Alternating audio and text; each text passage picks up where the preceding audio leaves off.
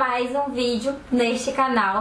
Pessoal, vim aqui hoje no vídeo trazer mais dicas de edições para os stories. Vou mostrar aqui no vídeo algumas edições fáceis de fazer, mas que deixam nossos stories com aquela cara diferentona. Então se você gosta aí de aprender edições, se você gosta de personalizar os seus stories, esse vídeo foi feito para você. Já deixa o like aqui no vídeo, pessoal, se inscreva no canal, porque toda semana tem vídeos novos aqui para vocês, tá? Já me sigam também lá no meu Instagram, porque lá eu compartilho dicas também para os stories, dicas de edições. Então se você ainda não me segue, já corre lá para seguir. E agora eu vou mostrar aqui para vocês as edições que eu separei para trazer no vídeo. E eu tenho certeza que vocês vão amar.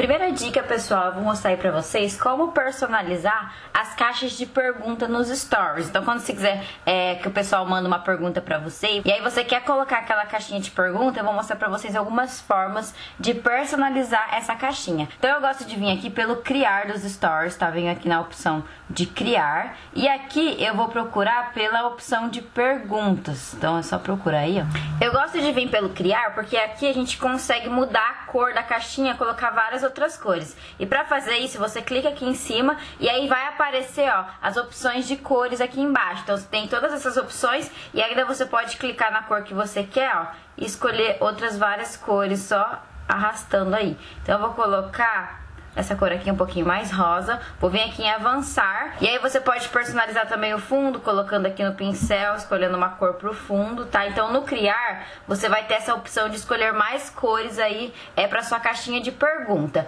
E aí pra personalizar mais, eu gosto de vir aqui nos GIFs. E aí a gente vai pesquisar aqui por Cass. Só assim, gente, ó. Escreve assim, que aqui tem um GIF de decoração para essa caixinha de pergunta. Então é só procurar aqui, ó, quer ver? Este daqui, ó, essa, essa decoraçãozinha aqui que eu acho legal. Então aí você pega esse GIF, abre, ó, ele é do formato certinho da caixinha de perguntas. Aí você só posiciona assim, bem certinho, para ficar bem atrás, né? Desse, tipo um contorno dessa caixinha. Clica aqui em cima da caixinha para ela ficar em cima do GIF. E aí é só você posicionar então é isso, pessoal, bem fácil de fazer, é uma dica simples, mas que dá toda a diferença nos stories. E se você ainda não sabia como procurar esse GIF aí de personalizar a caixinha, agora vocês sabem.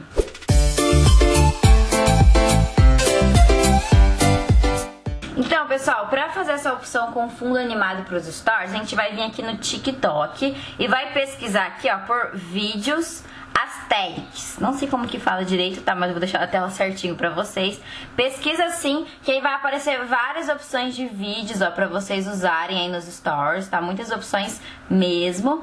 Ou vocês entram nesse perfil aqui, que eu vou deixar o link abaixo pra vocês, o nome certinho do arroba desse TikTok aqui, porque ele tem vários vídeos legais pra gente usar também. Então eu gosto sempre de usar os vídeos desse TikTok aqui. Então aí pra você usar, você escolhe o vídeo que você quer, no caso eu vou escolher esse esse, venho aqui no ícone de compartilhar aqui do WhatsApp, venho aqui em salvar vídeo, e aí ele vai salvar esse vídeo na galeria. E agora eu vou entrar aqui, gente, na minha galeria, então eu venho aqui, venho nesse último vídeo que eu salvei, vou editar aqui e cortar o final, porque geralmente o final do vídeo, ó, tem o nome do TikTok, né? O nome da pessoa. Então eu vou cortar esse nome aqui. Venho aqui em OK, salvar vídeo. E aí já tirou esse fundo. Agora eu vou entrar aqui no meu Instagram, vou arrastar aqui pra cima, vou colocar aqui o vídeo que a gente acabou de salvar, né? Acabou de editar também. E aí ele tem a marca d'água do TikTok ali, então é só dar um zoom assim, que aí já vai sumir, né? E aí depois você vem aqui nessa opção de bandeja de adesivos dos stores Vem aqui na galeria, que é nesse sticker de galeria para você entrar nas suas fotos. E aí você coloca as suas fotos ali em cima. Então é só escolher a foto que você quer colocar. No caso eu escolhi essa daqui. Vocês podem estar colocando mais de uma foto. É, duas fotos também, é tipo uma aqui, outra ali. Fica bem legal também. E o legal é que fica diferente o stories, né? De uma forma bem fácil de fazer. Se você não tiver essa opção dos stories de copiar a foto da sua galeria, é só entrar nesse vídeo que eu vou deixar abaixo, que é um vídeo onde eu mostrei pro pessoal que tem Android como ter a opção de copiar e colar nos stores, tá? E eu amo fazer essa dica, eu acho que fica bem legal, fica diferente. E hoje em dia que todo mundo tem o TikTok instalado no celular, né? É só baixar aí os vídeos com esses fundos legais e vai ficar muito top aí os seus stories.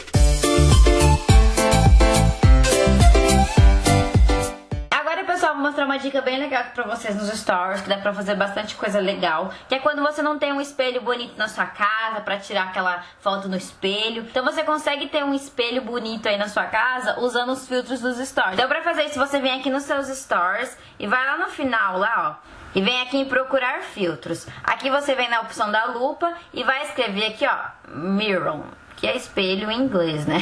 Escreve aí porque é, tem mais opções de, é, de espelho se você escrever é, em inglês, tá? Então vai aparecer mais opções de filtros. E aqui, gente, vai aparecer vários filtros, olha, de espelho, espelho legal para você fazer foto no espelho. Então, ó, esse, olha que legal essa pessoa fez aqui, ó. Você pode tirar no seu espelho mesmo, né? Fazer um story no seu espelho e colocar o filtro, que aí fica legal. Então tem muitas opções e para vocês usarem, é só vir aqui em experimentar que já coloca para você usar, tá? E tem um filtro que eu amo, que além de você conseguir tirar foto nos stories, você também consegue adicionar as fotos da sua galeria para esse filtro. Então se você já tirou uma foto no espelho, não achou que ficou muito legal, é só você vir aqui na, nas opções de filtro e pesquisar assim, ó, escrever isso aqui, ó.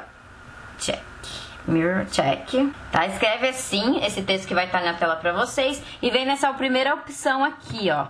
E aí você vem aqui experimentar. E aqui, ó, você vai ter a opção de tirar foto nos stores, né? De você tirar suas fotos aqui. Ou vir aqui e adicionar mídia da galeria. Então você coloca suas fotos que você tirou já da sua galeria aqui nesse filtro. Então eu vou vir aqui adicionar mídia.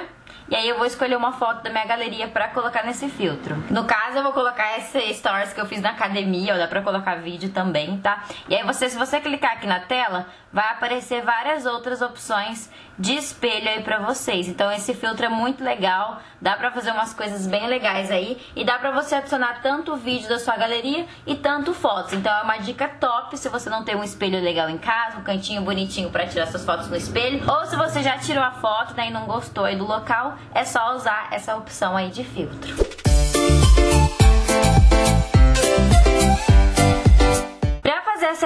Edição aí com essa caixa de texto diferente, né? tipo caixinha de texto do Windows, você vai vir aqui na opção de texto, vai colocar aqui na última fonte, tá? Você escreve alguma coisa, no caso eu vou colocar um ponto final, vem aqui em preencher, vou colocar a cor que eu quero, vou colocar branco atrás, tá? Então coloca branco aqui, ó. Dê alguns espaços, aí você conta o tanto de espaço que você deu pra dar nas outras caixinhas também, pra ficar tudo igual. Então, eu vou dar aqui, ó, um, dois, três, quatro, e vou vir aqui em concluir. Vou abrir essa caixinha de texto mais ou menos aqui.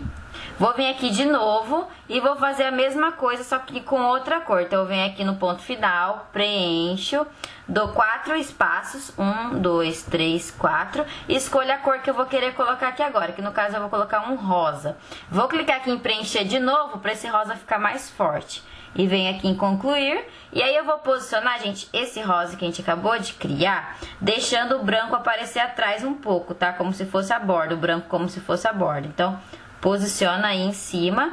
E aí você vai fazendo isso e vai colocando um pouquinho pro lado. Então, vou fazer mais um pra vocês verem, ó. Vem aqui no texto, coloca o ponto final, preencho.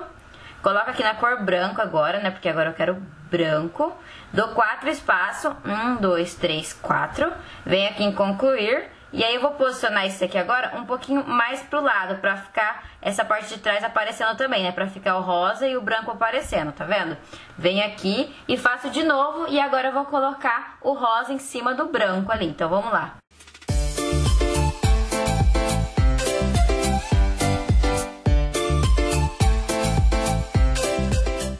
Gente vai fazer esse processo três vezes, então já fiz aqui mais um e agora eu vou fazer mais uma vez. Pronto, pessoal, já terminei de fazer os quadradinhos, agora eu vou vir aqui no texto de novo, vou colocar o ponto final, preencher, vou colocar aqui, ó, pra colocar na cor rosa, que é a cor que a gente fez ali, né, o final. Então deixa assim, rosa bem escuro, coloca para preencher até ficar o rosa escuro. Vou selecionar esse ponto final aqui e vou colocar o rosa também, tá? Pra tampar ali esse ponto que ficou em cima. Então depois é só você posicionar esse aqui em cima, que aí já vai tampar o ponto que a gente criou. Então agora eu vou salvar essa foto pra não perder essa edição que eu fiz. Como eu vou adicionar algumas coisas em cima, às vezes quando eu clico as coisas saem de baixo, né? Tipo, desorganiza. Então eu vou fechar aqui e vou abrir aqui a foto que a gente acabou de salvar. Vem aqui na opção do texto e agora eu vou fazer o acabamento. Vou colocar aqui, gente, deixa eu ver. Nessa fonte aqui, vou vir na opção do underline, vou dar vários underlines aqui, ó. Tá? Eu não vou querer essa fonte não, vou escolher outra fonte aqui. No caso vai ser essa daqui, ó. A quarta fonte, tá? Você coloca um pouquinho mais fininho aqui, diminui. Vem aqui em concluir, deixa na cor branca mesmo. E aí você vai posicionar aqui, ó. Como se fosse mesmo uma risca pra gente fazer essa caixinha do Windows, né? Então, vai ficar assim. Agora eu vou vir aqui no texto, vou colocar o xizinho. E aí você escolhe a fonte que você achar melhor. Eu vou colocar essa daqui, na cor branca também e vou posicionar bem aqui no cantinho. E agora é só colocar três pontinhos assim para dar o acabamento, para ficar bonitinho. E posiciona bem ó. E pronto, gente, já fica uma caixinha de texto diferente. Aqui você pode escrever seu texto, escrever sua legenda para foto e é só usando as opções dos stories para fazer essa edição muito legal aí.